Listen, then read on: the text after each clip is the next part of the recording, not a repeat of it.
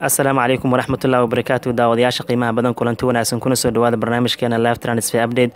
Oo aan ku soo qaadana sheekooyinka arrimaha xanta suuqa yurub ka jiraan maadaama dabcan bisha janna ay kaabiga nagu soo hay sidoo kaletana suuqa uu furmi doono. Waxaan eegayna heshiisay dabcan dhici karaan qorshayaasha kala duwan kooxa ay leeyihiin. Sida caadiga barnaamijkeena waxaan ku bilaabna soo qaadana koox caan ah oo aan ka hadleyno qorshaheeda. Marka koowaad aan ku bilaabno kooxda real madrid iyo qorshaha ee leedahay sanadka cusub kooxda real madrid ajandaha koowaad waxaa ugu jira sidai gacanta ugu soo dhigan ninka lagu magacaaba kiran imbembe oo labadii sano ugu dambeys baaday goob ugu jireen madaxweyne valentino beres wuxuu damac kaga jiraa kowda janaa inuu ku dhawaaqo weeraryahankan faransiiska gacanta inuu ku soo dhigo. Laakiin shabakada maarka waxay leedahay waxaa jiraan caqabado kala duwan oo ka hor istaagi kara arrinkaas in lagu dhawaaqo. Haba ugu horeysa rabitaanka imbembe oo la tixgelinayo wuxuu rabaa dabcan heshiiskan lagu dhawaaqin janaayo laakiin wuxuu u damaana qaadi doonaa kooxda real madrid weeraryahankan teeda wanaagsan inuu ku soo biiraya xagaaga nagu soo foolle. Dhinaca kale real madrid qorshaha waxaa ugu jirta fenicia junior contract cusub inay ka seexaan. Wiilkan waqti fiican uu ku jiraa qandaraaskiis in la gaarsiiyo ilaa iyo juun halka benzima kooxda uu sii joogi doono. Dhinaca kale kooxda madrid qorshaha waxaa ugu jirta daawadayaasha qiimaha badan inay ku dhawaaqaan qaadashada ninka lagu magacaabo antony rodiger asigana waa daafac tayo wanaagsan kaas oo dabcan chelsea ka soo tagayo kowda janaayo ku dhawaaqeen xagaaga nagu soo foolle si bilaash ay ku qaadan doonaan. Sidoo kale madrid qorshaha waxaa ugu jirto inay ka shaqeeyaan farsamo ahaan qaabkay ku qaadan lahayn haalan ciyaaryahankan teeda wanaagsan norwejiyaanka asigana waxaa lagu heli karaa ilaa iyo lixdan iyo shan milyan oo yuura sidaa darteed marka madrid ma dooneys fursadaas inay dhaafto waxayna rabaan janaayo inay kala xaajoodaan kooxda brusi dortman qaabkay ku heli weeraryahankan teeda wanaagsan.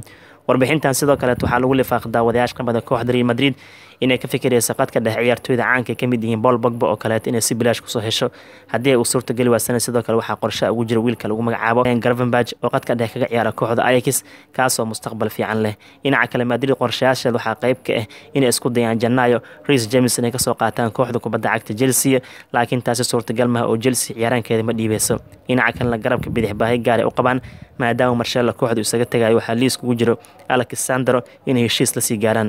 Overall warbixintan waxaa laga fahmi kara ama maqaalkan laga dareemi karaa madrid janaayo waxay ka shaqeynaya oo keliya farsam ahaan ciyaartooyda soo qaadanaysa xagaaga nagu soo fool inay xilli hore ka sii howlgasho. Intooda badan waxay u badan yihiin kuwo ay bilaash ku heli karaan. Isla sidoo kale sheekadan waxaa lagu lifaaqay ciyaartooyda ka yihiin marshello isco gareth bale iyo hazard. Afartaas ciyaartooy daawadayaasha qamada kooxda loogama baahno culays ayay ku yihiin. Weliba si gaar markii loo fiiriy iski iyo bale waxaa loo sheegay bisha janaayo inay koox raadsadaan. Saa darteed marka madrid afartaas ciyaartooy inay ka takhalusta qasabka ah ka hor intaysan qaadin tillaabooyin kala duwan oo ay ku doonaysa inay ku soo qaadata qaar ka mid a ciyaartooy yurub ugu tayada wanaagsan. Aragtidiina ka dhibta maqaalkan kooban oo lagu soo koobay real madrid iyo qorshayaasha elada sanadka cusub shaabiga nagu soo hayo bal markaana soo qaadana weeraryahanka faransiiska antony marshal magacii suuq kama degaa kadib markii macalinka united rolf ragnig si rasmi uu xaqiijiyay faransiiska inuu bixi karo laakiin manchester ayadana danteeda eegan doonto oo ku aadanay in ciyaaraankan amaha aan lagu fasixinin oo ay ku doonayaan lacag buuran. Sidaa darteed shabakada caanka the mirror waxay soo daabac shan bar dhammaad uu yeelan karo ninka lagu magacaabo antony marshal haddii manchester united uu isaga tago. Waxaa la soo qaatay kooxda safilia qalqaalo xoogan ugu jirto. Waxaa laga yaabaa safilia qorshooda amahada inay bedelaan oo ay kala xaajoodaan man united sidii looga iibin lahay weeraryahankan teeda wanaagsan. Dhinaca kale olympic leonia baadi goob ugu jirta antony marshal dib inay ugu celshaan gudaha faranja league one. Ninkan wuxuu ka soo tegay sanadii laba kun iyo shan iyo toban uu ka soo tegay.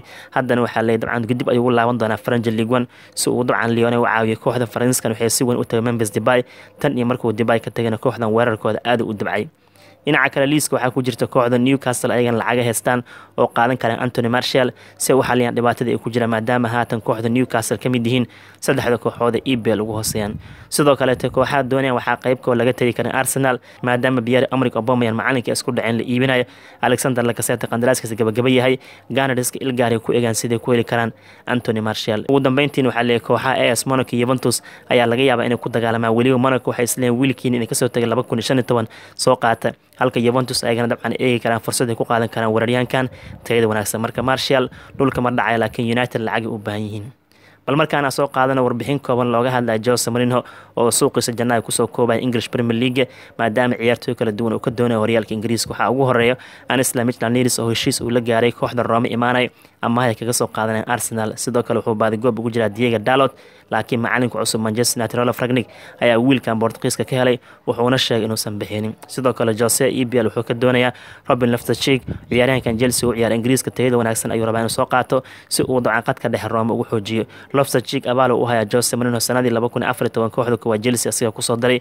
Inkastoo marar kala duwan amaha lagu dhiibay xilli caraadkan ciyaaraankan chelsea kulamo kala duwan u ciyaar asigoo ka faa'iis dhaawacyada ay qabaan ingole kante iyo matthew covasage marka jose wuxuu doonayaa robin laftaji gacanta inuu ku soo dhigo.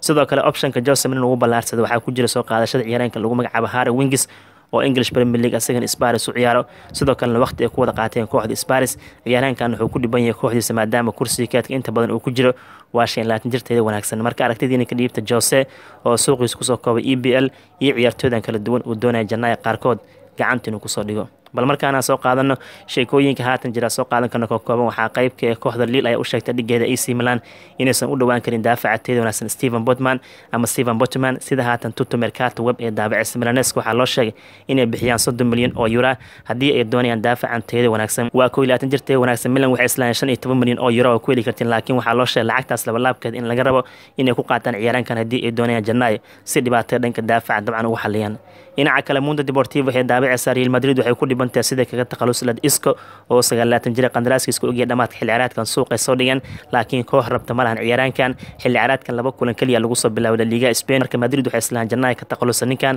laakiin ilaa had dalab soo gaara ma jirto waxay ka dhigan tahay marka xilli ciyaareedkan inta ka dhiman mushaaro iska qaadan doonaa kooxda madrid.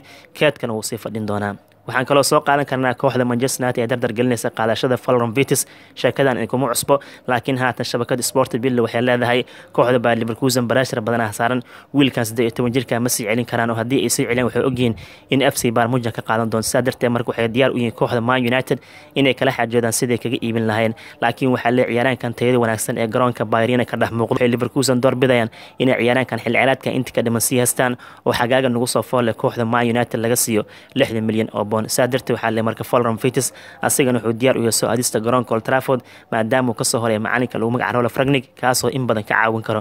Marka liverkusen waxay ka cararayaan f c barmujan oo isleeyihiin wiilkaana soo barbaarisan gacanta yuusan u gelin taasoo united ka caawin doonta inay qaataan sida sport bill ee daabaceyso saaxiibada qiimaha badan yuventusan qodob ka soo qaadana sida haatan lagasada sportiva daabaceysa yuva hiil iyo hoba waxay gelinaya siday ku soo qaadan laha sakamaka ama jalyuka sakamaka weerar kaga ciyaara sasuwaala inkastoo kooxda sasuwaala ay dalbanaysa afartan milyan oo yura.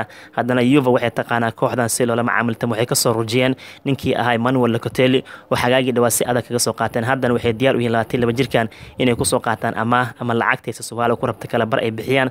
Lacagaha kalena gadaal ay ka bixiyaan. Sakamaka waqti fiican uu ku jiraa labada sano ugu dambeysa amaah kooxda kaga maqnaay laakiin hadda uu ku soo laabtay. Waxayna marwa duqdaa diyaar u tahay laba san amaah inay ku qaadato. Weliba qaabkii lacagaha locoteli ay ku bixinayaan ciyaaraankan ay ku bixiyaan saaxiibada qiimaha badan arsenal waxaa si toos ula hadlay ciyaaraankooda alexander lakaseto wuxuuna u sheegay qandaraaska inuusan kordhin doonin.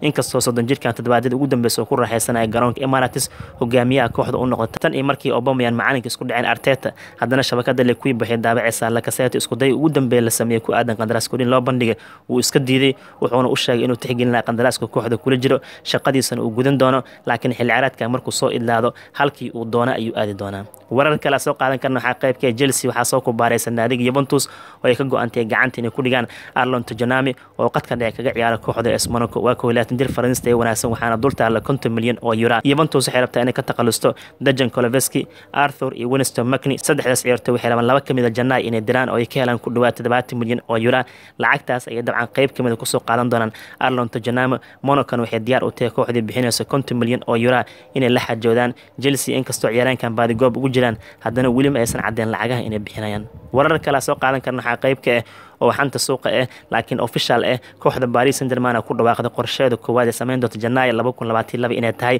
heshiiska amaada kula jooga Nuno Mendes wiilkan Portugiiska garbaha bidix ka dooro in heshiiskaas joogta ay ka dhigaan maadaama bandhiga uu sameeyay aad loola dhacay. Waxay diyaar u yihiin maamulka Paris Saint-Germain inay ku wareejiyaan kooxda Sporting Lisbon 40 milyan oo euro bilowgii xilli ciyaareedka Madrid Landeegi ku soo qaateen qaab amaah ah laakiin wiilkan banaankiisa ku dhacay qaar ka mid ah kooxaha Premier League ka dul qaadan haba ugu horeysa Man City. Saa darteed marka Nuno Mendes heshiiskiisa rasmi laga dhigaa Sporting Lisbon waxaa lagu wareejinaa 40 milyan oo euro kowda Janaayo markii la gaaro. Saaxiibada qiimaha badan ugu dambeyntii sheekooyinkaas soo qaadan karna waxaa qaybka Andre Pirlo. Dhankaas iyo Portugal looga gacan hati macalinkan iska Bagamundo ahay. Tan iyo markii laga racdeeyay kooxda Juventus dhamaadkii xilli 2020-2021 laakiin haatan sida ay daabacay shabakada lagu magacaabo Apollo ee gudaha Portugal ka soo baxday waxaa la xiriirta kooxda Benfica oo ku fikiraya inuu ku bedelaan macalinkooda lagu magacaabo Jorge Jesus oo shaqada laga racdeynayo weliba macalinkaas waxaa la sheegay waa arag inuu ku laabanayo gudaha Brazil asigoo qaban doona kooxda Flamengo. Marka Pirlo Bagamundadu ka baxa kooxda Benfica ayuu qabanaya. Sida ciwaan la soo daabacay. Yaanan ka tagin isheeda waxay qabanaysaa transferkii anoo dhamaad eh Barcelona oo dabcan ka go-antay soo qaadashada ciyaaryahanka garabka bidix ka ciyaara tayada wanaagsan Jos Gaya oo Valencia ka tirsan Isbaanishkan tayada wanaagsan waxay Barca u arkaan bedelka saxda ah ee ku haboon Jordi Alba oo da'da ka daba imaada waxayna kooxda Valencia gaaya ku doonaysaa 25 milyan oo euro qorshaha Barcelona wuxuu ciyaaryahankan tayada wanaagsan xagaaga nagu soo fool inay qaataan sida Sport ay daabacayso guud ahaan barnaamijkeena live transfer update intaasaan ku soo elinaynaa fadlan daawad haddii aad tahay saaxiib nagu cusub janaalkan subscribe inoo saar. Saaxiibada joogtada noogu xira muuqaalka noo sheer gareeya waa ku mahadsantihiin daawashadiina asalaamu calaykum waraxmatullahi wabarakatu